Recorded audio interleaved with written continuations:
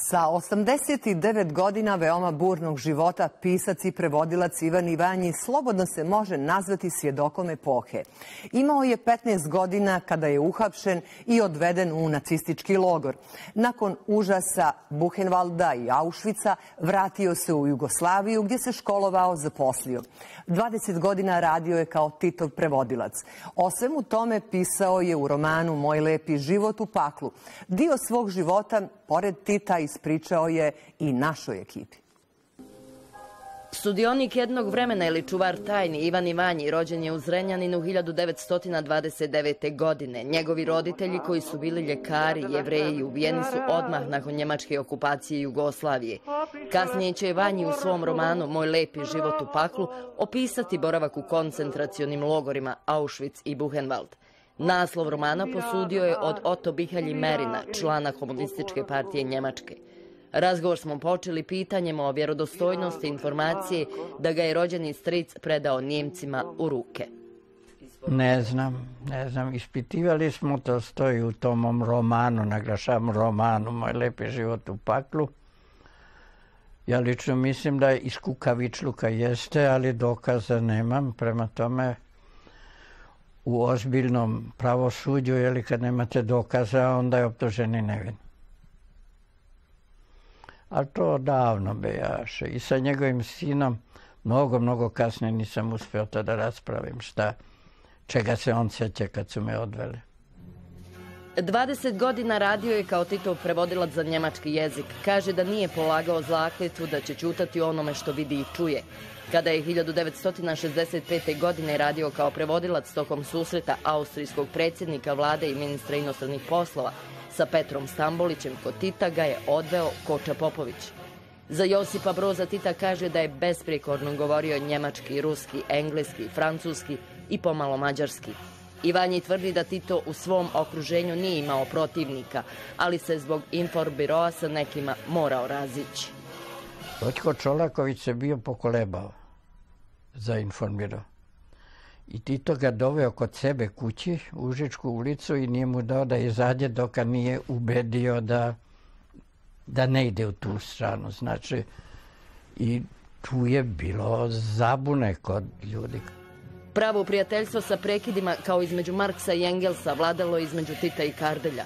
Svjetski državnici su ga uvažavali. Prema Ivanjijevo ispovijesti Tito je mnogo vremena provodio sa Hruščovim, ali da tu iskrenog prijateljstva nije bilo ni sa jedne ni sa druge strane. Riječ je o interesu. Tito je cijenio Vilija Branta i kada bi se sreli privatno pola sata razgovarali bi o kučićima. Brantu je smetala raskoš oko Tita i to mu je prigovarao. Priznaje i da ga često pitaju o ugovoru sa Njemačkom o obeštećenju za koji Vanji tvrdi da se vjerovatno nalazi u Beogradu na odgovarajućem mjestu. Najbitnije je bilo u Helsinkiju prvi sastanak KEPS-a, koji se pretvorio u OEPS, i u toj sali Finlandija koja nije bila zamišljena za tako velike skupove.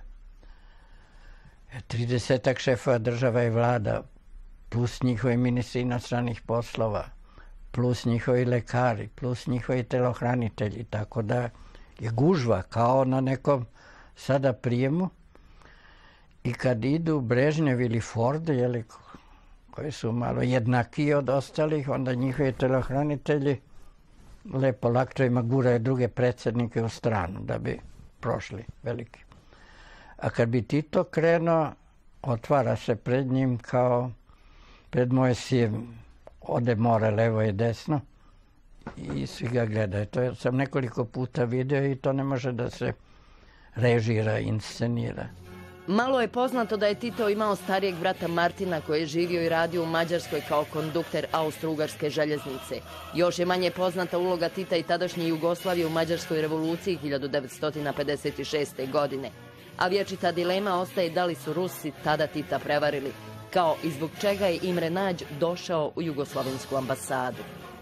Tu ima jedan ključni moment, to je onaj beše li treći, četvrti novembar, kad Hruščov i Maljenkov dolaze na Brione i kad imaju taj dugačak sastanak koji je Veljko Mitunoj beše opisao u to je svoje knjizi Ruski dani, šta li? Jer to je sa jedne strane su bili samo Hruščov i Maljenkov bez ikakve pratnje, a sa jugoslovenske strane e, Tito Ranković, Kardelj i Mićunović. Pričalo se na ruskom, nije se snimalo po dogovoru. Zapisnik je pravio Mićunović, ja sam taj zapisnik koji je mnogo opširniji nego to što je knjizi objavio, čitao posle. I tu je Hruščovu bila bliska ideja da postave za šefa Mađarske komunističke partije Miniha, koji je pre toga bio i ambasador Jugoslavije, koga je Hruščov lično privatno poznavao. A Tito je izgurao Janoša Kadara, koji je bio u zatvoru pod Rakošijem i onda ko zna, možda je to što smo Ljuka Julijus i ja pisali i tamo išlo njima, možda je to uticalo. Znači, Tito je izgurao kadara, pri čemu je tačno to da su Hruščovi i Tito mrtvi ladni diskutovali ko da bude šef Mađarske partije, to je šef Mađarske. I što je Tito onda u svom govoru 15. novembra pokušao da se pravda kao svaka vojna intervencija je strašna i nedopustiva, ali u Mađarskoj bi bilo još gore da Rusi nisu intervenisali. Znači tu je malo stao na rusku stranu, međutim kad su Rusi onda iz ambasade, tako reći, uhapsili Imreja Nađa i društvo, onda smo se opet potpuno mi Jugoslavija i posvađali. Kućni prijatelj Ivana Ivanija bio je njemački Nobelovac Ginter Grass.